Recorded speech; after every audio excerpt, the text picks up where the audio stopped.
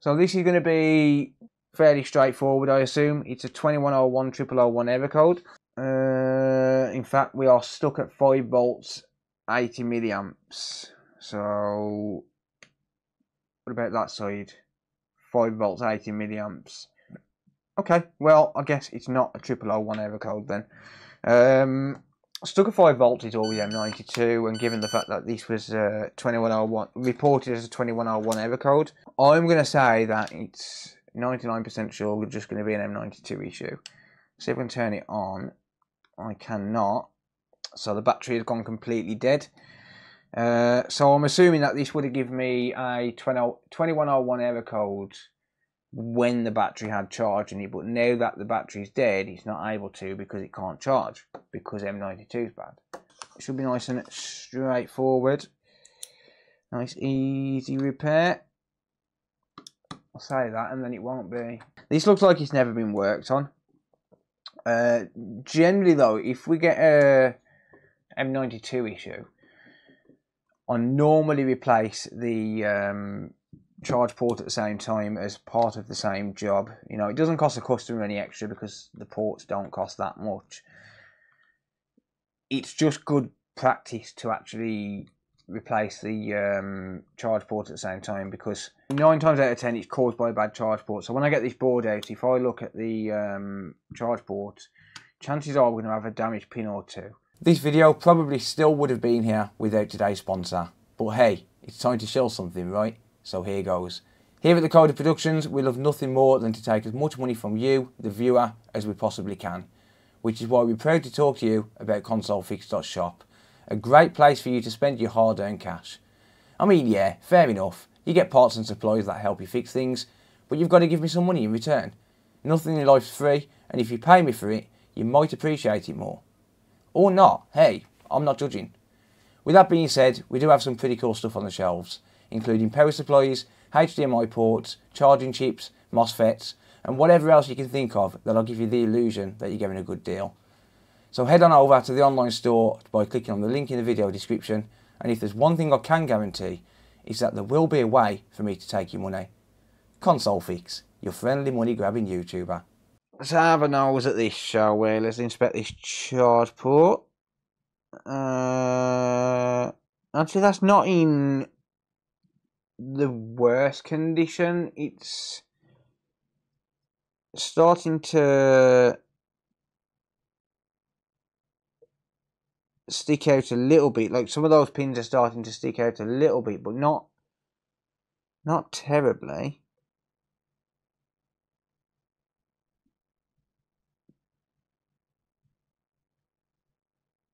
So you can see we've got that one there which is starting to stick out. And there's a couple over here as well which are starting to stick out but it's not terrible but there is some damage to the bottom there very slightly starting to come apart as well. So I will change that just for good measure anyway uh, I usually do anyway. I don't charge, like I said, I don't charge a customer any extra for changing the charge port at the same time. It's just part of the repair. I think it's a good idea to put a brand new charge port on when you're doing a M92 replacement. I'm gonna pick your brain. I have a PS4. I've had it 10 years. Doesn't connect controller. Tried all wires, safe mode, nothing. So I replaced Wi-Fi IC. Um, yeah, it's very likely going to be the um, southbridge, mate.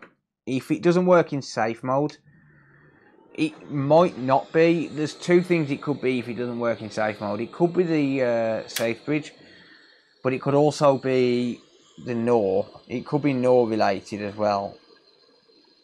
It's not necessarily um, indicative of a charge of, of a southbridge issue.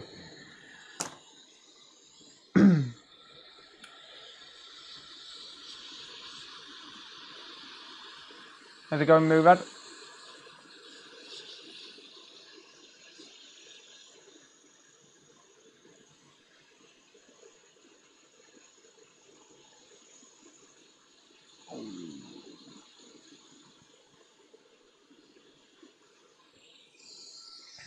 Alright, so there's the old charge port off. And I don't need replacement solder on this. There's enough solder left on there to be able to just drop a new port on. Same with the flux. I don't need to add any more flux.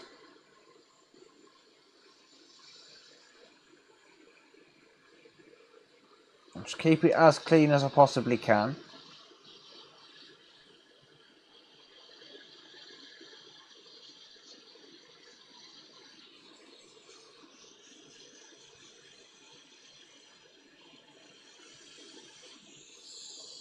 Press down on the board. Job done. Alright, so there's the charge port replaced. And that is sitting down nicely.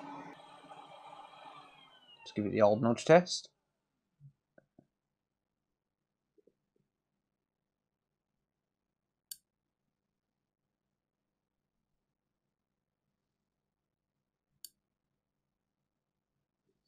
Clean. Perfect. Awesome. Good shit. And the good thing is, because I didn't add any more solder and flux, there's nothing to clean up. Not really. There's a couple of little spots. Like I, I can throw a bit of IPA there, but there's really nothing to clean up. Same as the back look. Perfect. Right, I am going to do one thing.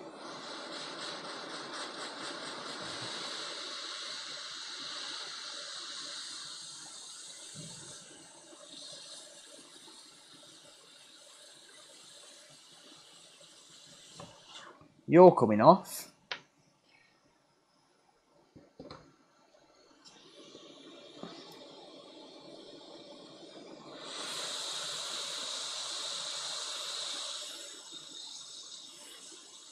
And you're coming off. See ya.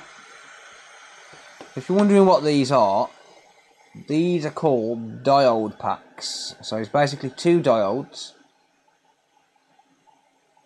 on uh, in a small package, small IC, couple of diodes, and those diodes go to the data lines on Pi 3 USB. Well, they go from the USB port to these diode packs and then to some filters. But these, when these go short, they cause docking issues and they can cause random charging issues as well. So on the HAC 10 boards, I remove these and I don't put them back. I don't replace them. It's one less failure point on the board. I always remove them. If you look on a HAD board, for example, they got removed in later revisions. So you got one there, so that's one diode, goes up to there, through there to the filter, blah blah blah, and then that's another diode. So you got two in total, right? And then you got the grounds on either side. Um, on the later revisions, they removed them because they was causing no end of problems. So they're not actually needed. Same with that one. Look, two diodes, and then it goes to where it goes from there on to wherever. Um, they removed them in later revisions because they um, they was causing no end of problems. So whenever I get a HAC 10 board in, I just remove them and I don't put them back because it's one less thing that can fail on it is absolutely not needed. Do you find the diode packs only fail when the charge port is damaged? Um, to be honest, I haven't come across that many diode pack failures. Uh, but when I have, it is normally when you got a damaged charge port. But it's just one less thing to fail. I'm just going to check these filters here because a lot of people forget about that filter. I'm going to check these filters here.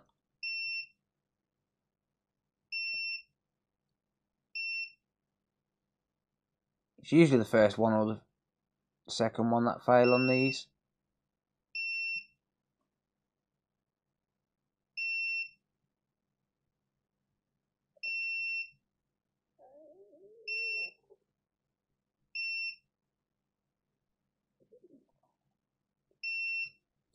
Okay, filters are all good. What about Pi 3? No short. So chances are the short is going to be on this middle capacitor just here, at the top. So one probe on ground. Yeah, there we go. And on the third one as well, interestingly. Okay. Cool. Right, let's swap out M92 because we've got a short on that. That's what's causing the charging issues. Yeah, so that's what's causing the charging issues. The fact that we've got a short on that middle cap and the um, well, the charging issue is going to be caused by the third cap to the right. 2101 error code is going to be caused by the middle cap there. So that's what's causing uh, that short is what's causing the 2101 code, and that one is what's causing it to not charge. So if that third one was fine, it would charge, but it would just give you a 2101 code.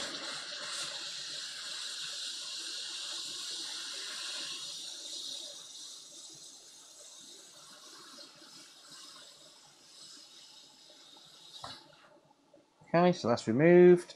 Grab a replacement M92.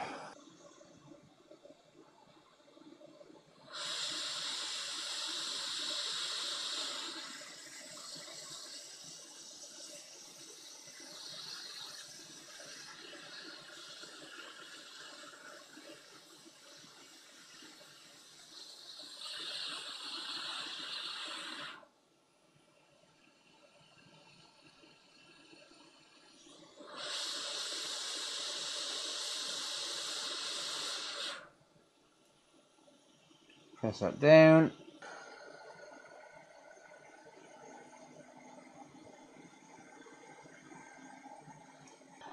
Look how to depressed and massive. My brother-in-law was impressed earlier, David, doing a house clearance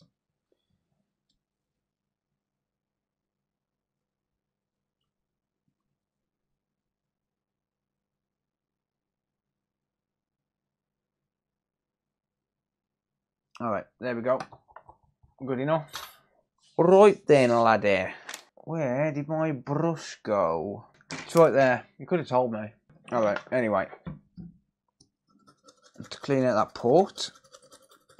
Well, the outside of the port, there won't be any flux inside because I used a minimal amount. There we go. Clean out my charger as well because it's a little bit iffy. Right, board. Uh, sorry, housing.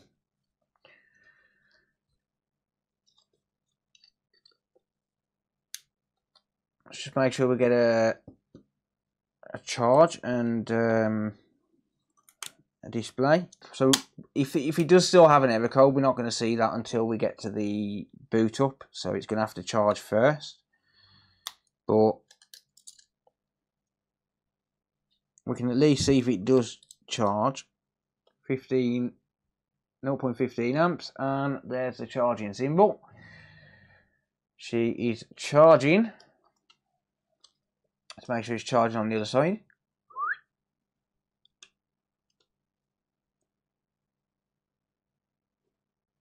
It is indeed. Good. So I'm going to leave that charging for a few minutes. Hopefully it doesn't take long to charge but it is pretty dead Yes, we have a backlight and that is pairing on. So no 2101 error code. I mean, obviously I didn't see the 2101 error code verified, but you know, the fact that it was stuck on 5 volts, that's all I need to see to know that we've got a issue most likely with M92. You know, you don't need to verify a 2101 error code. If it's not charging, it's not charging. Or if it's um, you know stuck on five volts or whatever. But that's working. That's pretty sweet. I will check and make sure it docks, considering I've changed the charge port. And the fact that I've changed M92 as well, to be honest. But mainly because I've changed the charge port, I've got to make sure that the charge port is actually functional. Okay, HDMI. Come on. Give me a picture. No signal. Why? Let me just clean my... Oh, hang on. Yeah, I think it's my HDMI cable. There we go. Yeah, it's my HDMI. It's just my cable. Not a problem. Right, there we go. Job done. it docks. Everything seems to be working. Well, everything I've tested. Let's just test the game real quick. And uh, I do do have some Joy-Cons to hand, so I can test that as well.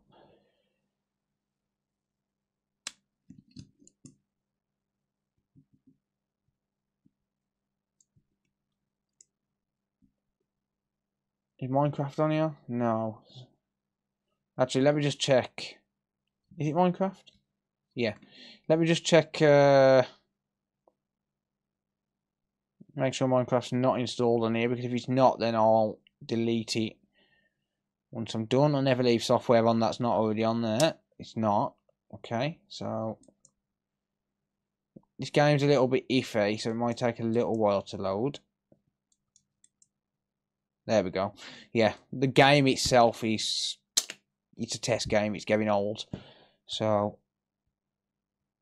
options, data management, delete software. There you go. Okay, so it's picking up a game. It's charging. It's docking. Internet. Bink. Thank you. Audio. Yep. And finally, let's test the Joy-Cons. Shut up, phone, you piece of shit. Whoops. My bad. Joy-Cons connect. Joy-Cons charge. Joy-Cons work.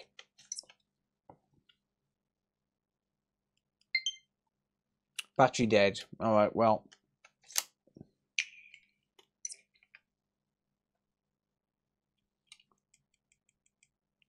That battery's dead as well. I'll leave them charging. Uh, it picked up that the battery was dead though, so wireless controllers are working. Um, so that's absolutely fine. Uh, yeah, everything is working. I think being YouTube full time is the best way to go and build a channel because you have huge potential. Thank you, Bugsy. Appreciate it, mate. The thing is, though, if I'm gonna do YouTube full time, I need to try and get the support.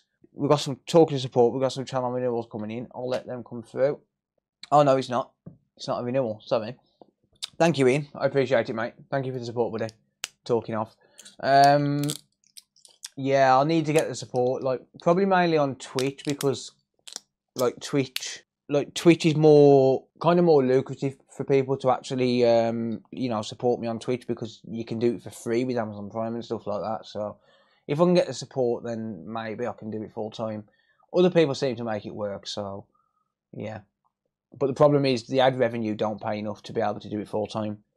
All right. Anyway, job done. Now I'll drunk my coffee. YouTube got your back in the long run. Mm, the ad revenue don't don't just don't cut it though. That's the problem. I don't know. I don't know. I'll see. But the ad revenue does definitely doesn't pay enough to be able to afford to do it full time. Not on its own. Not on its own. It don't. Or maybe I'll start doing more stuff for Patreon or something like that. I don't know. I'll figure something out. Or start actually consistently uploading stuff on Patreon and things like that.